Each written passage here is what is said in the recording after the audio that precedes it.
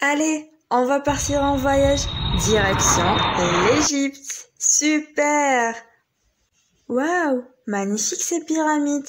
Mais un instant, c'est quoi cette pyramide qui n'est pas comme les autres? Hmm, bizarre. Mais qu'est-ce qui est écrit ici? Euh, Les différents niveaux d'organisation en écologie. Hmm, ça a l'air intéressant. Allons explorer ensemble chaque niveau. Let's go Dans cette vidéo, on va explorer les différents niveaux d'organisation en écologie. Ce voyage commence dans l'espace, la planète Terre, qui est considérée comme la biosphère de la vie. Le terme biosphère, c'est un système planétaire, incluant l'ensemble des organismes vivants et le milieu où ils vivent, atmosphère, lithosphère, hydrosphère, c'est-à-dire tous les endroits où la vie existe.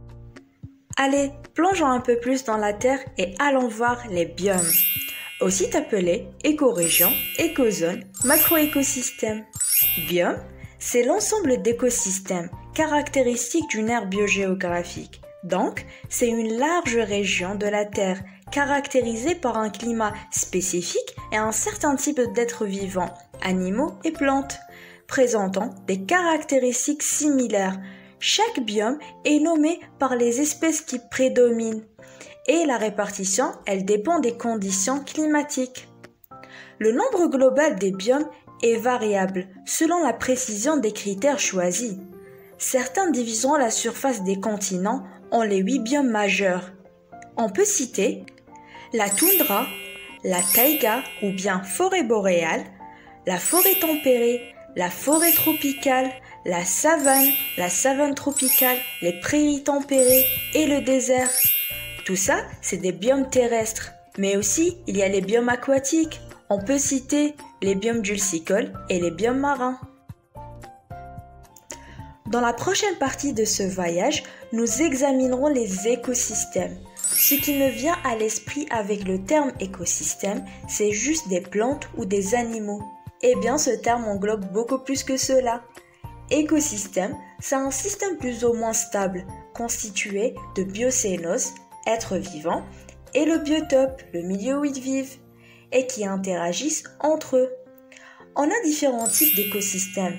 Macroécosystèmes, aussi appelés biomes, exemple les savanes, déserts, océans.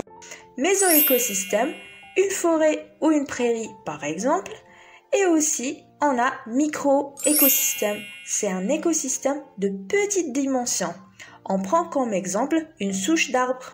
Et chaque écosystème est rempli d'une communauté biologique unique. La communauté, aussi appelée biocénose, c'est un ensemble de populations végétales, animales, microbiennes, qui vivent dans un même milieu, au même moment et dans des conditions déterminées.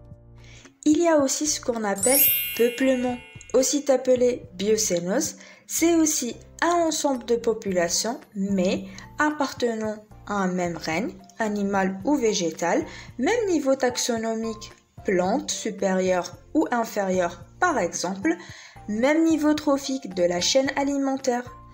Par exemple, un peuplement d'oiseaux insectivores ou bien un peuplement d'arbres d'une forêt tropicale. On a aussi la notion de guilde, ou sous-peuplement, qui est du même règne ou genre voisin, même habitat et partage les mêmes ressources. Allez, continuons notre exploration. Au sein d'une communauté, nous pouvons observer la population. Une population, c'est un ensemble d'individus de la même espèce et dans une même aire géographique. Par exemple, la population des petits lapins. Notre prochain niveau, c'est les organismes. Les organismes sont des êtres vivants, des individus. Chaque lapin, dans notre exemple précédent, c'est un organisme, un individu. Et voilà, on arrive à la fin de notre magnifique aventure qui est riche en informations, que j'espère que vous a plu et vous a éclairci un peu les choses. À la prochaine dans une nouvelle vidéo en écologie. Ciao.